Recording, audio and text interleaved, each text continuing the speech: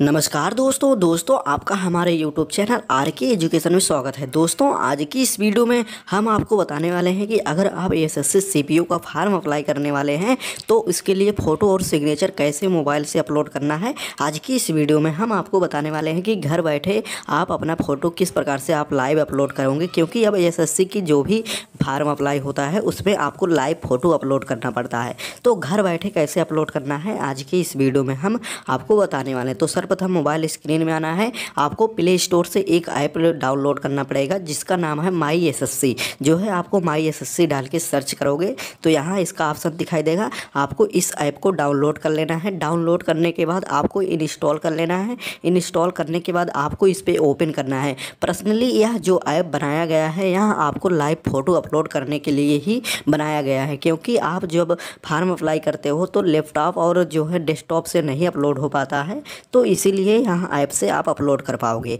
तो इस ऐप को ओपन करोगे तो कुछ इस प्रकार से आपको जो है ऑप्शन ओपन हो जाएगा। तो यहाँ देखोगे तो यहाँ आपको अपना रजिस्ट्रेशन नंबर फिल करना पड़ेगा, आपको पासवर्ड फिल करना पड़ेगा, अब आपको कैप्चा कोड फिल करके लॉगिन के ऑप्शन पे क्लिक करना पड़ेगा। तो सारा चीज़ फिल करके लॉगिन के ऑप्शन पे जैसे ही आप क्लिक करोगे तो यहाँ पर आपको कुछ इस प्रकार से ऑप्शन दिखाई देगा, इस एक्सेप्ट और रिजेक्ट का। तो आपको एक्सेप्ट कर लेना है। एक्सेप्ट करने के बाद आपकी जो है प्रोफ़ाइल ओपन हो जाएगी। जितने भी वैकेंसियाँ यहाँ पर चलती रहेंगी एसएससी के द्वारा लाइव, यहाँ पर आपको दिखाई देगी। तो यहाँ आपको दिखाई दे रहा होगा सब इंस्पेक्टर इन दिल्ली पुलिस से, यहाँ पर आपको दिखाई दे रहा होगा। तो आपको यहाँ इसकी स्टार्टिंग डेट डेट और लास्ट डेट दिखाई देगा। आपको इसी पे क्लिक करके जो है आप अपना लाइव फ़ोटो अपलोड कर पाओगे। वो भी घर बैठे मोबाइल फ़ोन से भाई दो मिनट सेकेंड में आप अपलोड कर पाओगे। तो यहाँ आपको दिखाई दे रहा होगा स्टार्टिंग डेट, इसकी लास्ट डेट। उसके बाद यहाँ कैप्चर का कैप्चर का ऑप्शन दिखाई देगा। आपको फ़ोटो कैप्चर का ऑप्शन दिखाई देगा।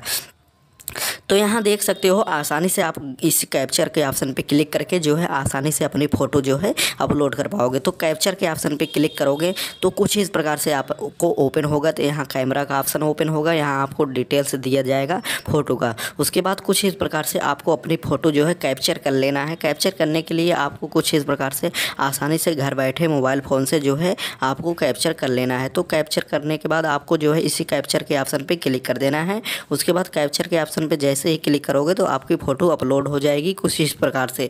तो यहाँ से आसानी से घर बैठे आप मोबाइल फ़ोन से कुछ इस प्रकार से आप फ़ोटो अपलोड कर पाओगे। अब बात करते हैं सिग्नेचर की। सिग्नेचर जब आप एसएससी की जो है ऑफिसर साइट से डाउन जो है अपना फार्म अप्लाई करोगे तो वहाँ से आप जो है अपलोड कर पाओगे। तो कुछ इस प्रकार से आप देख सकते हो, आपकी फ़ोटो दिखाई देगी अपलोड करने के बाद। तो आज की इस वीडियो में इतना ही। थैंक यू दोस्त।